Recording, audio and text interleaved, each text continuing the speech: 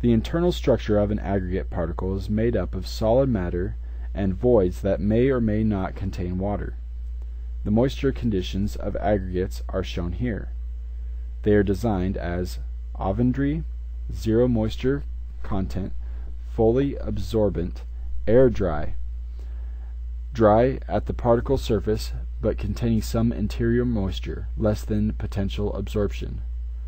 Saturated surface dry, SSD, neither absorbing water from any from nor contributing water to the concrete mixture, equal to potential absorption.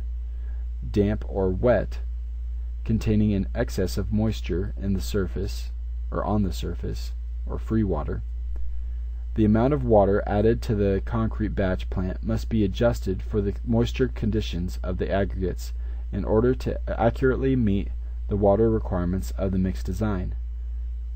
Coarse and fine aggregates will generally have absorption levels, moisture contents at SSD in the range of 0.2% to 4% and 0.2% to 2% respectively.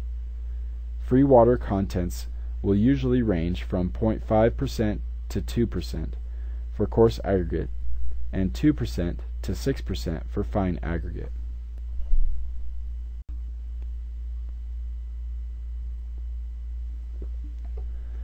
Bulking is the increase in total volume of moist fine aggregate over the same mass in a dry condition.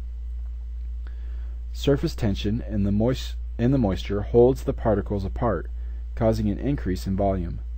The figure on the left illustrates how the amount of bulking of fine aggregate varies with moisture content and grading.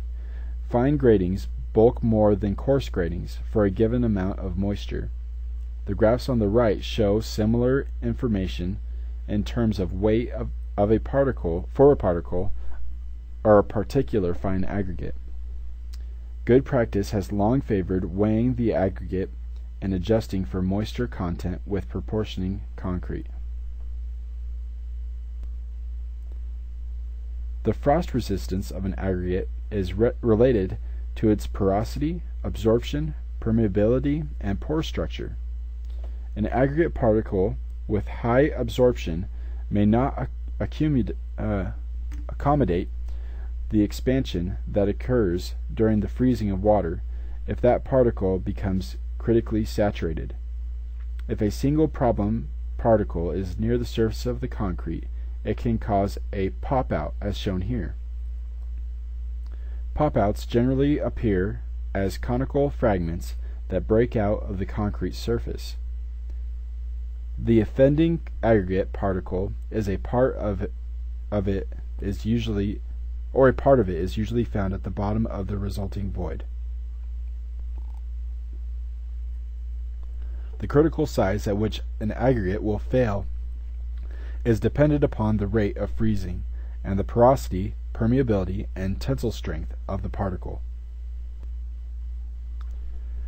The cracking of concrete pavements caused by freeze-thaw deterioration of the aggregate is called D-cracking. D-cracks are closely spaced crack formations oriented parallel to the trans transverse and longitudinal joints that later multiply outward from the joints toward the center of the pavement panel, shown on the left. If water accumulates under pavements in the base and sub-base layers, the aggregates may eventually become critically saturated. With continued freezing and thawing cycles, cracking of the concrete starts in the saturated aggregate, shown on the right, at the bottom of the slab and progress upward until it reaches the wearing surface. The performance of aggregates under exposure to freezing and thawing can be evaluated in two ways: (1) past performance in the field, and (2) laboratory freeze-thaw tests of concrete specimens. The abrasion resistance of an aggregate is often used as a general index of its quality. Abrasion resistance is essentially when the aggregate is to be used in concrete subject, subject to abrasion, as in heavy duty floors or pavements. The most common test for abrasion resistance is the Los Angeles abrasion test, rattler method. In this test a specified quantity of aggregate is placed in a steel drum containing steel balls. The drum is rotated and the percentage of material worn away is measured. A comparison of the results of aggregate abrasion tests with the abrasion resistance of concrete made with the same aggregate do not generally show a clear correlation. To provide good skid resistance on pavements, the siliceous, siliceous particle content of the fine aggregate should be at least 25%. For specification purposes, the siliceous particle content is considered equal to the insol- insoluble residue content after treatment in hydrochloric acid under standardized conditions. The strength of an aggregate is rarely tested and generally does not influence the strength of conventional concrete as much as the strength of the past and the past aggregate bond, of the paste and the paste aggregate bond.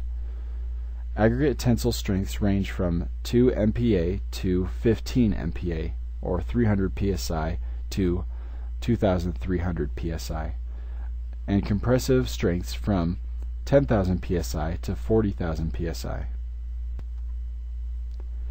Different aggregate types have different compressible, compressibility mod, modules of elasticity and moisture related shrinkage characteristics that influence the same properties in concrete.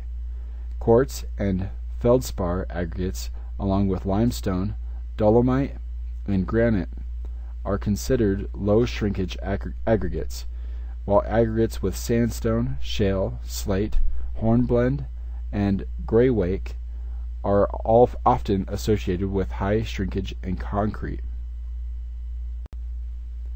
Although acids generally attack the, and leach away the hydrated cement phases of the cement paste, they may not readily attack certain aggregates, such as siliceous aggregates. Calcareous aggregates often react red, readily with acids. However, the sacrificial effect of calcareous aggregates may be more beneficial than siliceous aggregates in mild acid exposure or in areas where water is not flowing. With calcareous aggregates, the acid attacks the entire exposed concrete surface uniformly, reducing the rate of attack on the paste and preventing loss of aggregate particles at the surface. Calcareous aggregates also tend to neutralize the acid, especially in stagnant locations. Calcareous or siliceous aggregate should be avoided when strong solutions of sodium hydroxide are present, as these solutions attack this upper this type of aggregate.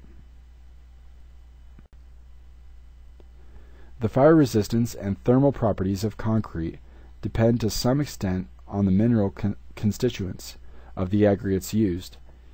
Manufactured and some natural occurring lightweight aggregates are more fire resistant than normal weight aggregates due to their insulating properties and high temperature stability. In general, concrete containing a calcareous coarse aggregate performs better under fire exposure than a concrete containing quartz or siliceous aggregates such as granite or quartz quartzite.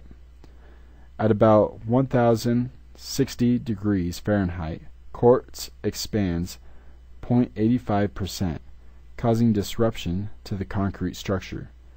The coefficient of thermal expansion of aggregate ranges from 1 by 10 to the negative 6 per degree Fahrenheit to 9 by 10 degrees minus 6 per degree Fahrenheit.